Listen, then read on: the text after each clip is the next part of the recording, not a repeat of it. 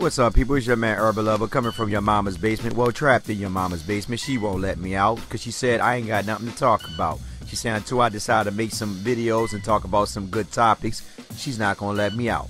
So I had to dig in and I dug up and I digged up some squirrels, some elephant ears, and some tiger legs. And I came in with some little scoop, which makes me happy and also should make some of these fans who love the young Lakers happy as well.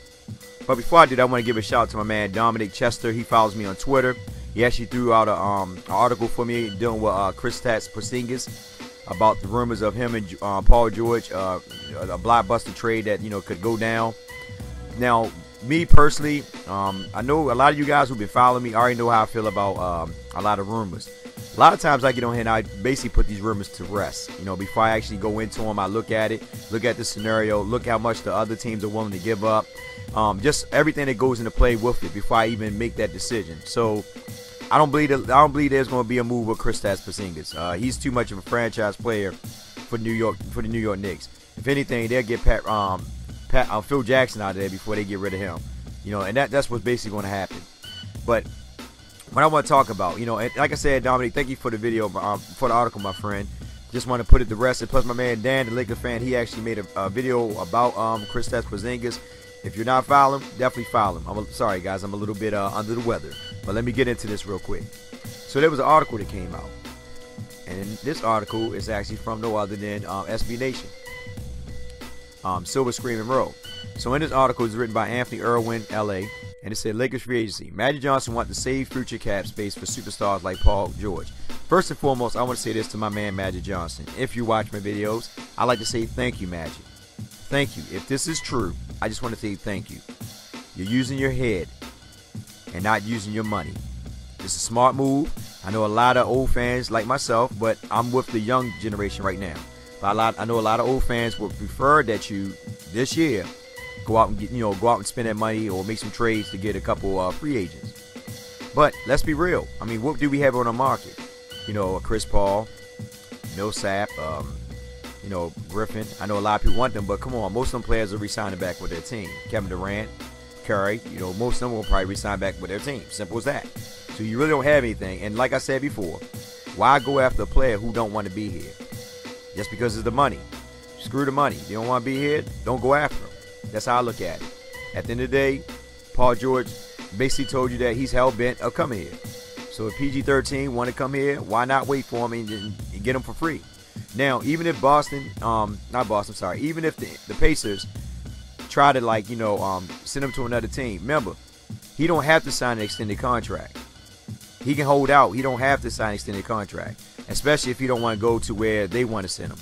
You know, so basically, you know, this is last year. He don't have to sign an extended contract, my friend. So we're not going to lose out on it, even if other teams you know, want him or whatever it may be. You know, he already said he made up his mind he want to come here. The only thing I would say to Magic Johnson is that instead of having Mozgov and um and Lou, Luol let's get PG and DeMarcus Cousins. That's a good mixed match, right? I mean, that's a good match right there. A match made in heaven. The the honey weathers. I, that's what I would do. That that's me personally. But one thing I'm gonna read. Let me read this article to you guys, and I want y'all guys to chime in and tell me what you think. Because like I said, you know, you got the, some of the old head Laker fans. They prefer that the Lakers go ahead and you know get these uh, you know these superstars now and give up some of our young assets for them. Me personally, I want to see a dynasty. Like I said, I watched the Lakers from '79 when I was just, you know in my freaking uh, diapers, you know, still letting out big turds from '79 all the way up to now. You know, so I watched Magic Johnson them how they ran the whole 80s up to up to 90, 91. I watched them. You know what I mean? How you know how they basically just controlled the whole they just was the best team. I mean, the, the, freaking you know Showtime Lakers, and that was a dynasty. Even with Shaq and Kobe, that was a dynasty. And I wish they would, you know, let bygones be bygones and clear out the egos. That would have been uh, another terrific dynasty. These two guys could have won more championships than the five and the three. You know what I mean? But they could have won more if they'd just, you know, played together and you know kept their egos in in control. But anyway, I want to see a dynasty. I don't want to see a band-aid team. I don't want to see our team go through three or four years and then all of a sudden they be back trying to find pieces to fit back in again. Most of these guys are young. I think we should, you know, work with them. Whoever don't fit the bill, then we can move them. But right now, I think that this year coming up will be the best year for all of them to really show what they got. You know, I said it last year, but I'm saying it this year because this is their second year of being rookies to me. Saying they were Luke Walton. This is his second year, so everybody's going to be under the radar. And I like what Magic Johnson said, so I'm gonna get to the article. I'm not gonna read all of it, just little, just little um, parts of it. So it's a Laker free agency. Magic Johnson wants to save future cap space for superstars like Paul George. And they say fans of the Los Angeles Lakers are waiting with bated breath to see what direction Magic Johnson and Rob Pelinka takes the organization. The offseason still in lottery-induced um, holding patterns, but Magic offers some clarity on his intentions. Some have voiced concern that the front office might opt for a big splash for the sake of a splash. Yes, getting something closer to actual NBA talent would make the Lakers more watchable in the immediate future, but has been the case with Luol Deng and Timofey Mozgov. The return on such investment rarely worked out. An appearance on ESPN 2 NBA Draft Combine coverage, he answered questions about how he'll be looking to improve the Lakers this summer. The conversation turned to the roughly 23 million in cap space, which I told y'all guys in the last video, I believe, at the Lakers' disposal, disposal and Magic didn't mince words. This is what Magic Johnson said. Listen closely. We can sign a free agent if we want to. Read it again.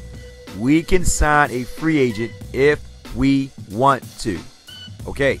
But listen, but listen, but I am really looking to keep the cap space that we have and really try to play in next year's free agent class and not really this free agent class. Read again, and not really this free agent class. This right here, and that's what he said. So this right here clears all the rumors all the rumors. So any rumors that people putting out right now, if Magic Johnson stick to what he just said, we're not going to see none of these young guys being traded. And that's the best thing I can say because why? Why give up your assets, right? When Paul George is going to be a free agent at the end of the season. DeMarcus Cousin, if he don't sign an extended contract with the Pelicans, will be a free agent at the end of the season. This year, we get to see, hopefully, Zubac start. You know, Miles come off the bench. Yeah, that's what I would do. I'll let Zubac start, let Miles come to the bench to see where we're at. Let these guys get more playing time and let the old guys come off the bench and back them up. You know, put um, if we get our draft pick because remember Magic all said that, that said that they're going to keep the draft pick. I believe my heart they're gonna go after Lonzo Ball and he's gonna play the point and D'Angelo Russell gonna play the two. This is what I'm thinking. The Lakers gonna see what they got, and like I said, at the end of the season, because I believe that the Lakers have a chance to win 40 games this year. I'm, I'm just being honest with you guys. There's no reason for them not to win a lot of games. This year, last year, and year before, yeah, because you want to get back all that you gave up for Steve Nash and Dwight Howard. So you want to get all of them back, your draft picks back. So the Lakers taking all these years, I respect that because in reality, we needed the, we needed the players. Nobody wanted to come here. I know a lot of people don't want to see us lose, but we got to look at reality. And at the end of the day, that's what it boils down to, reality. So I'm happy for what Magic said. I'm hoping to pray he stick to his word that we'll keep the, all our young players and just bring in a la Paul George and DeMarcus Cousin when they're free agents at the end of this season coming up. It makes much sense. Why give up all your players when you're not getting nothing? When you're gonna get players regardless, if you know, why give all your players when you're going to get players regardless? It's, it just makes sense. And players want to come here. And at the end of the day, you want to build a, a dynasty. You don't want to build a band age team that's only going to last four to five years. You want to build a dynasty that's going to last for 10 years. These young guys, like I'm saying, what we got right now, a good squad of young guys. We just need the right veterans around them. And DeMarcus Cousin and and PG13 uh, to me are the best veterans that's going to be on the board next year. So it makes perfect sense. So I want to say kudos to Magic Johnson. I love you, brother. I hope and pray you stick to your word. For those that want, um, you know, the band age um, players this year, I'm telling you guys, it's best to just wait. You know what I mean? At the end of the day, let's be real. Who are they going to beat? I mean, if we get Chris Paul or just say Blake Griffin, I mean, they they struggling in LA right now. So who are we going to beat? I mean, I'd rather keep these young guys and bring two veterans in that should have been and replace Miles and Luol Deng anyway. So I'm hoping that they get find a way to get rid of Miles and Luol Deng. Whatever they do, find a way to get rid of them. You know what I mean? And just bring in PG13 and DeMarcus Cousin. And that's based on what we look like after this uh, after this season. So we can see what we need from there. But most likely PG13, nine times out of ten is going to come to LA he's just going to come. The money's going to be good, and once we get Brad Luol Deng, we'll have enough money to sign him. So with that being said, your man Urban Lover. Like, share, subscribe. Get in the comment section. Tell me what you think about this topic. Do you think Magic Johnson going to stick to his guns, and, and keep our assets and basically wait until the next season, or you think that he's just throwing us shades and eventually going to make a trade at the end of the at, uh, after the end of the season is over? Let me know what you guys think, and do you really do you really are enjoyable enjoying the part that he said that he's going to wait, or are you a fan that say you know what we need to make trades now? I just want to hear what you guys got to say. Love you guys. Be safe out there. Take care. Have a blessed one. I got to go. My, my voice is horse's crap. Take care, y'all.